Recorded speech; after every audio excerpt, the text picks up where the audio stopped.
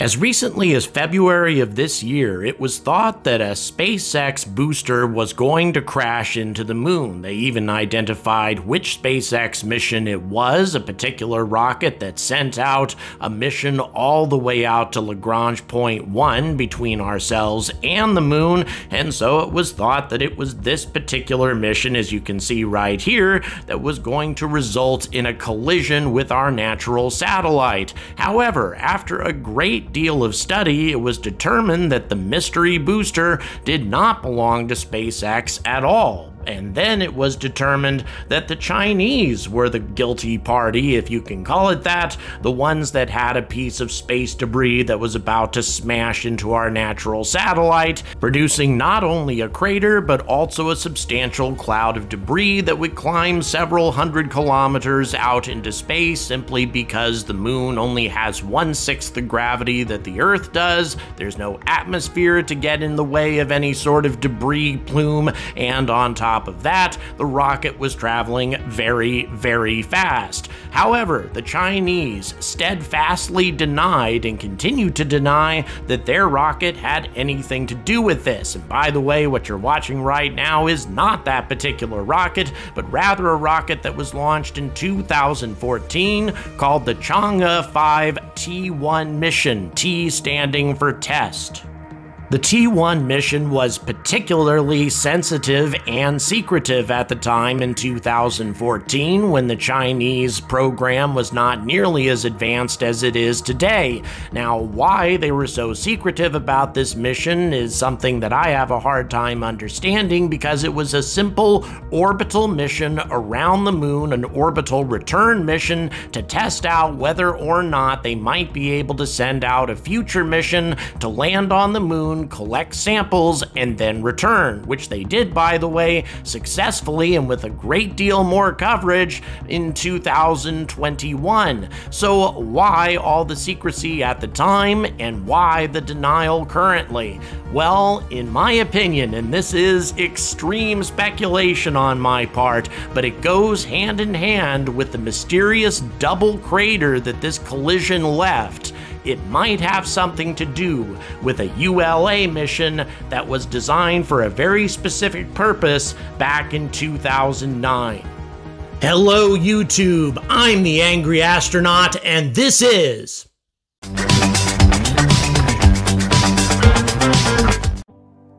Have you ever wondered how we really know that there's water ice at the lunar South Pole? Yeah, we can take all sorts of spectrographic analyses and that sort of thing, but the mission that really determined just how much lunar ice we're dealing with that down there was the LCROSS mission, way back in 2009. A spent Centaur rocket on top of an Atlas V that launched the Lunar Reconnaissance Orbiter also carried the LCROSS probe, and the LCROSS would be released at the last moment before the Centaur upper stage collided with the moon. The upper stage would then produce a massive debris plume, hopefully including a lot of water ice, and the LCROSS would pass through it, gathering as much data as possible before it too crashed into the moon. By the way, these created two craters, obviously, because you had the Centaur colliding with the moon, and of course the probe colliding with the moon shortly thereafter. But here's what was very interesting about the mission. Really, not a great deal of data was expected because the probe would only have a few seconds to gather it before it too collided with our natural satellite, and yet it gathered a tremendous amount of information, including lots of data about water ice. Both LCROSS and the Lunar Reconnaissance Orbiter picked up hundreds of kilograms of water ice while they conducted their observations of the debris cloud that was thrown up by the Centaur upper stage, and in addition to that, they found lots of other interesting stuff, including carbon dioxide and also more than 100 kilograms of mercury, something they didn't expect to find as well. What this proved is that these shadowed areas of the moon moon can prove to be traps for various types of elements that you're not going to find elsewhere on the moon that gets exposed to sunlight. But these regions that have been permanently shadowed for billions of years may contain elements that we really need if we want to establish a long term presence on the lunar surface. And this strangely configured mission proved to be invaluable to our future studies of the lunar South Pole. Indeed, we really haven't collected any sort of substantial materials from the lunar South Pole since then. This is the only up close and personal study that we've made of water ice at the lunar South Pole, but it's sufficient evidence to indicate that there is lots of water ice there, certainly enough to support a future lunar base. But what does this have to do with the collision that just took place? Well, once again, this is extreme speculation on my part, but what if a secondary mission of the Chang'e 5 test mission or the Chang'e 5T mission was something similar? Because keep in mind, the mission took place a mere five years after this particular mission from NASA. Well, first of all, it's important to note that the collision took place on the far side of the moon near Hertzsprung crater, in other words, out of sight of any terrestrial telescopes. Also, the LRO was not in a position to observe the exact impact, which means that if a probe were released from this mysterious stage at the last moment in order to conduct observations, we would have no idea that this had happened.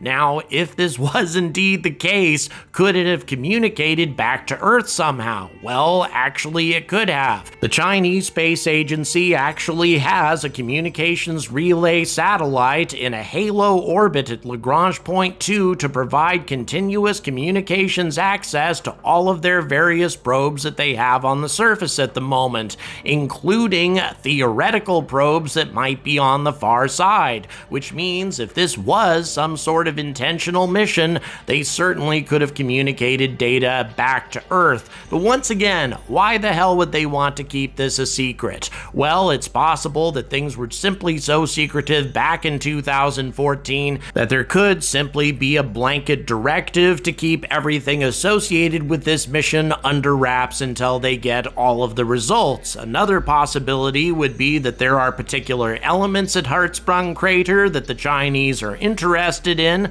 Perhaps radioactives, perhaps some kind of rare metals, things that we haven't detected yet, that they wanted to get some more information about, and they decided to carry out a mission very similar to LCROSS. And yeah, I admit it, I'm toying around with conspiracy theory gibberish at the moment, however, I'm not a big believer in coincidences. This is the first time that any man-made object has unintentionally hit the moon, and at the same time, it's also the first object to create this unusual and strange looking crater. And at the same time, the one nation that seems responsible for having sent out this rocket in the first place is denying that they had anything to do with it all three of those factors combined make me a little suspicious. That's all I have to say, and I really think that we might want to analyze this region a little bit more thoroughly just in case there might have been a reason for the People's Republic of China to intentionally send a mission to determine the composition of this area way back in 2014. If you like this type of content, when I go out on a limb every now and then, check the description. There are many ways to support my channel. Also, smash that like, hit that subscribe, hit that bell button every time you want to be notified when one of these strange videos hits YouTube's surface. And as always, stay angry about space!